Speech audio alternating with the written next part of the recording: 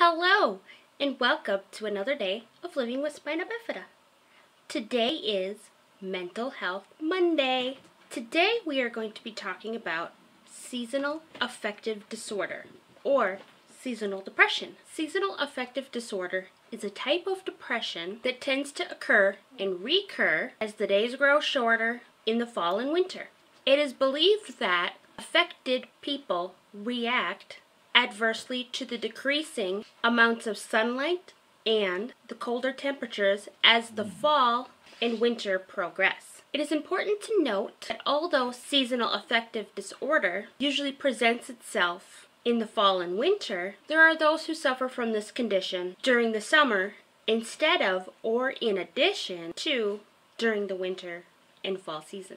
Although there is no specific diagnostic test for the illness, it is understood that symptoms of seasonal affective disorder include tiredness, fatigue, depression, crying spells, irritability, trouble concentrating, body aches, loss of sex drive, poor sleep, and overeating, especially of carbohydrates with associated weight gain. When the condition presents itself in the summer, the symptoms are more commonly insomnia, poor appetite, and weight loss in addition to irritability, difficulty concentrating, and crying spells. In severe instances, seasonal affective disorder can be associated with suicidal thoughts. The symptoms of seasonal affective disorder typically tend to begin in the fall each year, lasting until spring. The symptoms are most intense during the darkest months. Therefore, the more common months of symptoms will vary depending on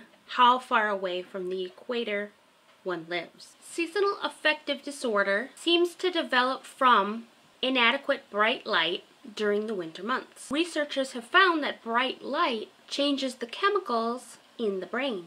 While these specific mechanisms remain undetermined, Factors like low vitamin D levels in the blood are found to be associated with a higher occurrence of seasonal affective disorder and some other depressive disorders. In addition to being key in the prevention of seasonal affective disorder, regular exposure to light that is bright, particularly fluorescent lights, significantly improves depression in people with this disorder when it presents during the fall and winter. The light treatment is used daily in the morning and evening for best result. Temporarily changing locations to a climate that is characterized by bright light, such as the Caribbean, can achieve similar results.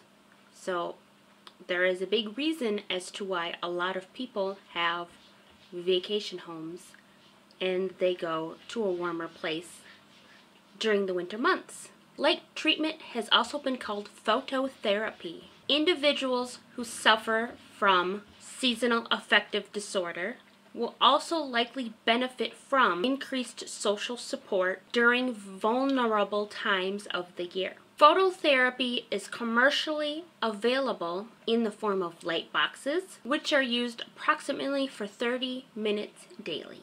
The light required must be of sufficient brightness, approximately 25 times as bright as a normal living room light. Contrary to prior theories, the light does not need to be of natural sunlight it seems that it is quantity and not necessarily quality of light that matters in the light therapy of seasonal affective disorder. The most common possible side effects associated with phototherapy include irritability, insomnia, headaches, and eye strain. Antidepressant medications particularly those from the serotonin selective reuptake inhibitor family, have been found to be an effective treatment for seasonal affective disorder. As with any other mood disorder, psychotherapy tends to accentuate the effectiveness of medical treatment and therefore should be included in the approach to addressing this disorder in individuals who are perhaps vulnerable to the development of bipolar disorder, either light therapy or antidepressant medication can cause a manic episode as a side effect. Even if the winter light is weak, some experts believe that taking a morning or noontime walk can go a long way toward alleviating symptoms. So if it is at all possible for you to take an outdoor walk during these winter months, it is probably a great idea. I'm always suggesting going for walks because it is helpful for all sorts of things your mental health and your physical health.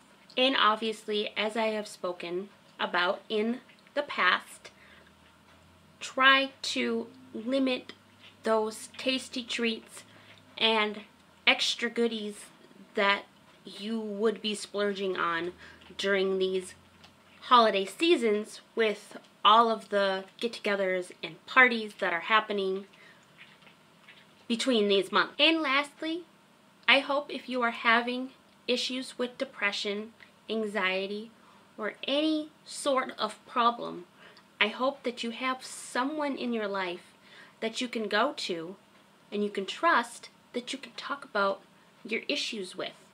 Even if they're not even seemingly big issues, if you're just having a down day. Everyone's feelings are completely valid, and everyone has a right to feel down, to have a bad day, to have a bad week, to have a bad month, to have a bad year.